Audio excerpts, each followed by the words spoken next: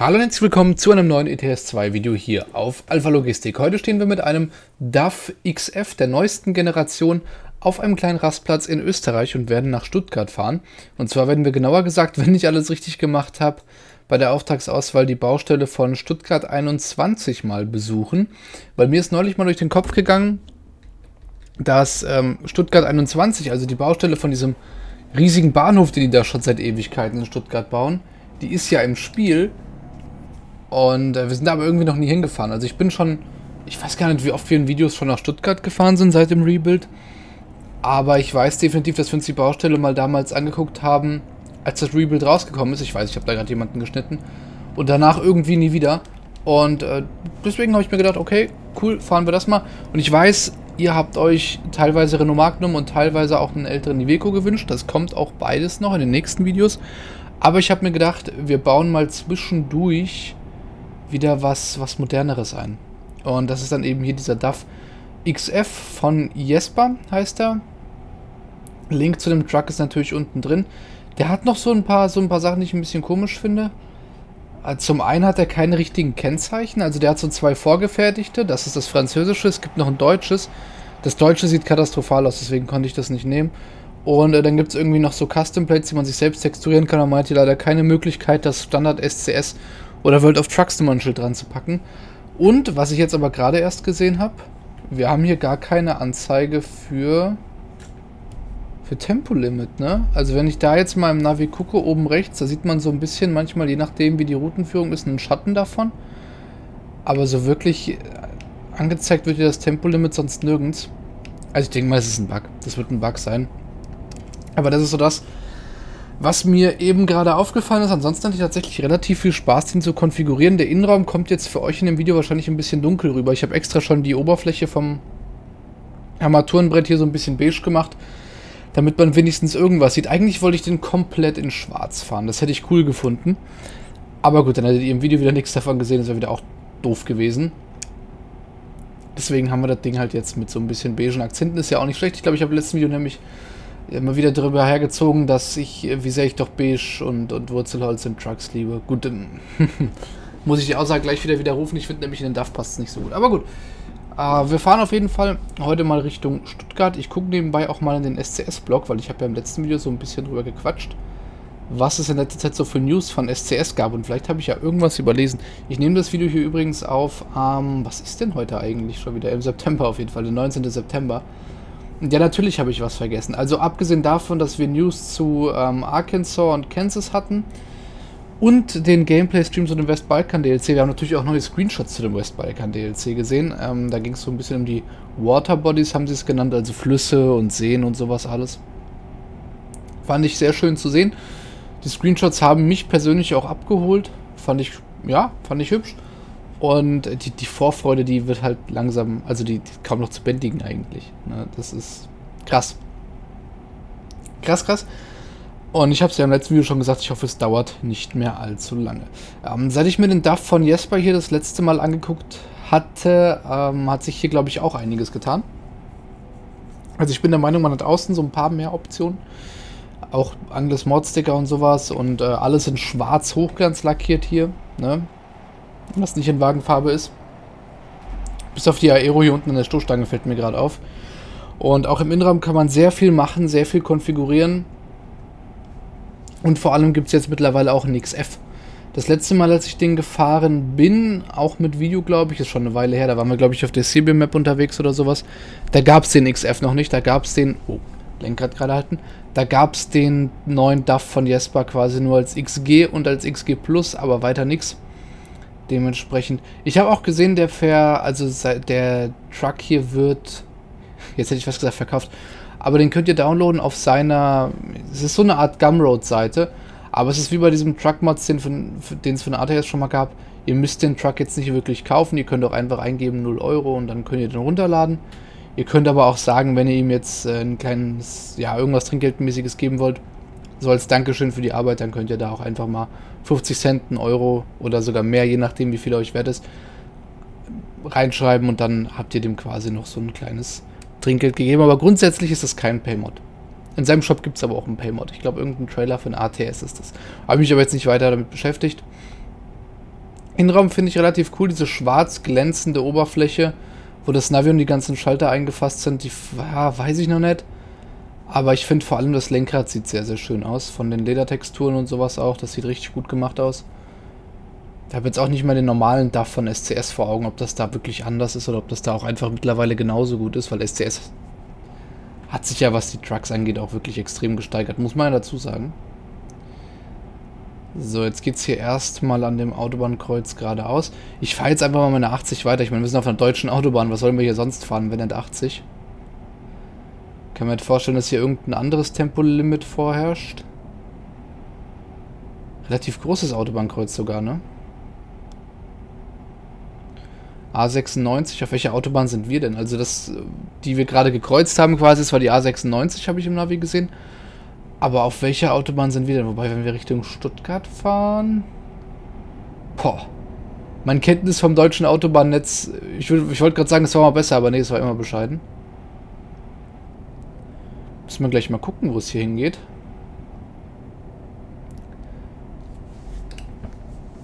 Auf jeden Fall müssen wir jetzt... Ah, auf die A7. Okay, das macht, glaube ich, Sinn. Ich glaube, das ist realistisch. Äh, wir machen auf jeden Fall noch einen Screenshot. Ich werde zwar wahrscheinlich einen Thumbnail in der Stuttgart 21 Baustelle machen, aber so ein paar mehr Screenshots sind ja nie verkehrt. Vor allem, weil ich die ja dann das ein oder andere Mal schon mal auch auf meiner Instagram-Seite poste. Könnt ihr gerne mal vorbeischauen. Alpha-Logistik. Da poste ich mittlerweile eigentlich jeden Tag. Ne? Ja, jetzt schon jeden Tag äh, neue Bilder von Trucks aus ETS 2 und ATS, ab und zu auch mal was aus Forsa, aber das ist relativ selten. Und ähm, in der Story gibt es dann ab und zu auch mal so Truck-Contests, wo ihr mir eure Trucks schicken könnt und dann werdet ihr in der Story verlinkt und dann tretet ihr quasi in einem Turnier gegen andere, gegen andere User an und sowas. Das ist ganz cool. Schaut gerne mal vorbei. Wenn ich dran denke, dann ist der Link zur Instagram-Seite unten drin. Ansonsten alpha-logistik oder in der Kanalinfo müsste er, glaube ich, verlinkt sein. Wenn mich nicht alles täuscht. Der ist tatsächlich auch älter als der YouTube-Kanal hier, mein Instagram-Account. Da habe ich angefangen, so, so Truck-Bilder aus ETS 2 und ATS und so zu posten. Irgendwann habe ich mir gedacht, ja, Videos dazu wären doch ganz cool. Und so ist der ganze Krempel hier im Endeffekt entstanden. Irgendwie fühle ich mich so langsam, wenn ich hier mit 80 km/h über die, über die Autobahn rolle. Aber man muss halt auch dazu sagen, das letzte Video war ein Mercedes Actros MP2 wo wir in Estland auf Landstraßen unterwegs waren, auf denen wir schneller fahren durften als hier in Deutschland auf der Autobahn. Haben wir ja auch zum Teil gemacht. Und deswegen muss ich mich vielleicht erstmal wieder so ein bisschen auf die deutsche Autobahn, an die deutsche Autobahn gewöhnen. Wir, sind, wir fahren übrigens eine Radlader, Bagger, was auch immer, Schaufel von einem Volvo durch die Gegend. Aus diesem Volvo Cargo Pack, was es auf Steam gibt von SCS. Passt halt. Ich meine, wenn wir die Stuttgart 21 Baustelle beliefern, dann passt es ja.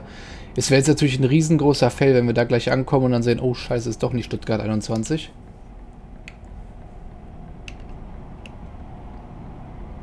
So, fahren wir hier einmal raus Richtung Karlsruhe und Stuttgart.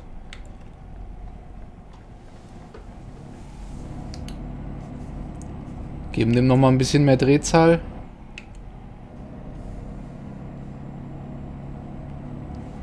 Und dann funktioniert das hier doch alles ganz gut. Dann machen wir mal wieder rein.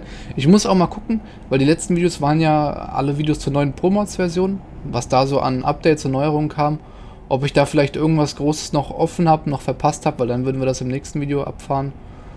Und ich denke mal, dann ist es auch gar nicht mal mehr so weit bis zum Balkan-DLC. Krass.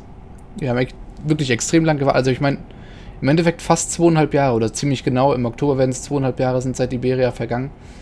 War schon eine echt lange Zeit ohne ETS 2 Map DLCs. Ich glaube, das ist die längste Zeit ohne ein ETS 2 Map DLC bisher. Und es wird, es wird auf jeden Fall wieder Zeit. Die Community hat da Bock drauf.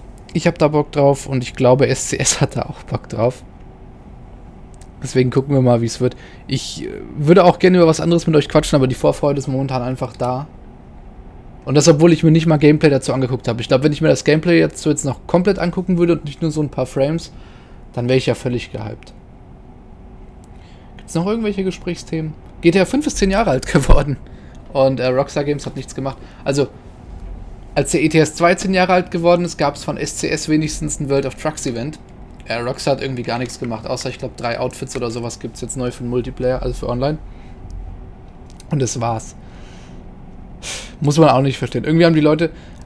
ich habe schon geahnt, dass es nichts wird. Die Leute haben sich, also waren voll gehypt auf eine GTA 5 Ankündigung, äh, GTA 6 Ankündigung. Ich war auch mal, irgendwann gab es wirklich relativ eindeutige Zeichen dafür, dass GTA 6 bald angekündigt wird. Da habe ich mich richtig hypen lassen, habe gedacht, ja, man, GTA 6 wird angekündigt. Und dann kam es aber nicht, offensichtlich. Und seitdem geht mir GTA 6 eigentlich so ziemlich am Arsch vorbei. Und vor allem auch, weil ich nochmal drüber nachgedacht habe, wie cool waren denn GTA, also die Originale von GTA San Andreas und Vice City und GTA 4 und auch GTA 3 noch, wenn ihr wollt. Und der Story-Modus von GTA 5 war ja auch wirklich gut, keine Frage. Und wohin hat sich das entwickelt mit Rockstars Fokus auf Online und Shark Cards und so? Und ist das überhaupt was, worauf man sich freuen sollte? Und da denke ich mir, nee. Nee, also wirklich nicht. Habe ich habe ich mittlerweile gar nicht mal mehr so viel Bock drauf auf die ganze Geschichte. Aber gut, das muss im Endeffekt jeder für sich selbst entscheiden. Wir sind jetzt auf jeden Fall von der Autobahn runtergefahren. Wir sind jetzt auf einer Bundesstraße und fahren, glaube ich, auch schon so langsam nach Stuttgart rein. Zumindest erscheint es da hinten am Horizont schon im Navi. Rechts geht es jetzt, glaube ich, nochmal in so ein bisschen ausgekoppeltes Industriegebiet aus der Stadt. Und wenn wir dann jetzt einmal geradeaus fahren, müssten wir auch schon so gut wie da sein. Irgendwann da muss ich gleich so ein bisschen aufpassen, vielleicht auch mal auf die Schilder achten ausnahmsweise, weil irgendwann gleich kommen wir an eine Stelle, da dürfen wir auf jeden Fall nur 60 fahren. Oder sogar 50. Auf dem Schild da steht zwar noch 80, aber ich traue dem Braten nicht so ganz. Ich weiß nämlich, dass ich hier im ETS schon öfter bösartig geblitzt worden bin. Ja, genau. Für LKW ist es hier ab diesem Punkt 60. Und dann schleichen wir hier mit 60 auf dieser baulich getrennten Bundesstraße entlang. Seht ihr? Das passiert, wenn die Grünen in der Landesregierung... Ja, ist ja auch egal. Auf jeden Fall machen wir uns jetzt hier einen entspannten. Oh, das ist eine, das ist eine sehr, sehr, ja, ja, lebensfrohe Auffahrt. Auf jeden Fall mit so einem langen Beschleunigungsstreifen, das ist schon Dann sind wir tatsächlich auch gleich schon am Ziel. Kurz hinter diesem Tunnel hier werden wir es schon sehen können.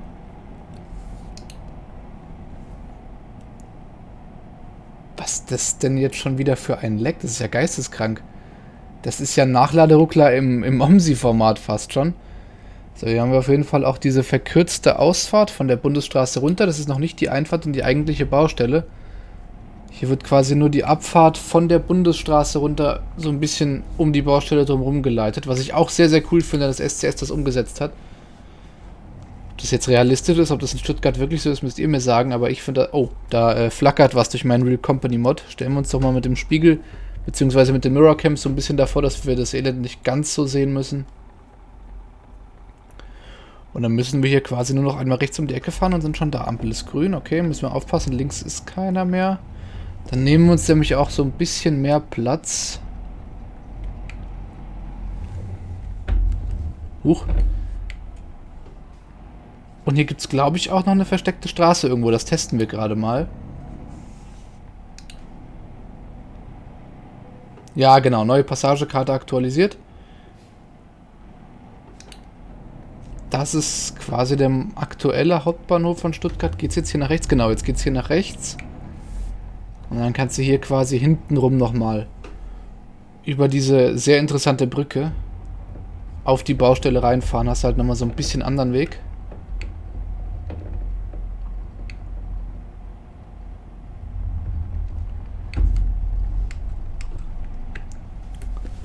Dann gucken wir mal, ob wir hier vielleicht ein cooles Thumbnail mit Baustelle drauf zustande kriegen. Das wäre natürlich ganz geil. Schauen wir mal. Ja, es ist halt ein bisschen dunkel, ne? Es ist halt ein bisschen dunkel, das ist ein bisschen doof. Aber vielleicht können wir ja... Wir haben ja Gott sei Dank dieses Feature im Fotomodus mittlerweile, dass wir da so ein bisschen rumspielen können.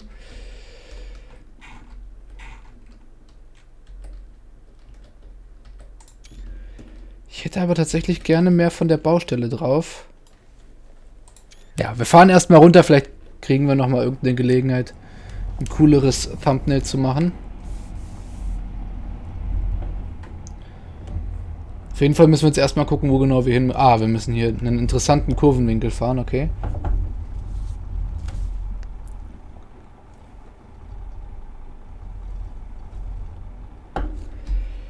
Ich probiere es dann nochmal mit dem Thumbnail. Ich kann es einfach nicht sein lassen.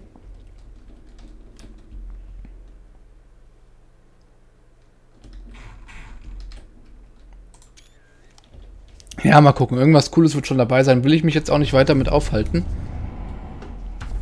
Hat das Automatikgetriebe natürlich den Gang rausgeworfen. Okay.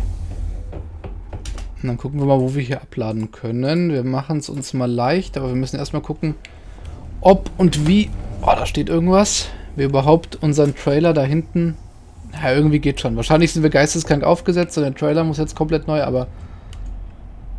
Irgendwie sind wir da schon rumgekommen.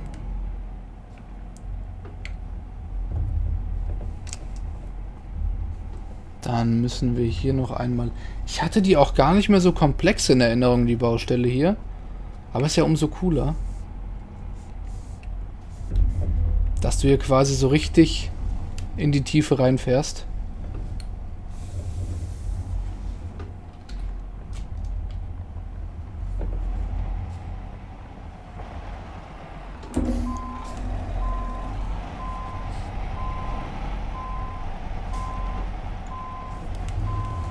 Fahren wir hier rückwärts einmal ran. Und äh, dann würde ich sagen, das soll es für heute gewesen sein. Ich bedanke mich auf jeden Fall bei euch fürs Zusehen. Ich wünsche noch einen wunderschönen Tag. Macht's gut, bis zum nächsten Mal. Ciao, ciao.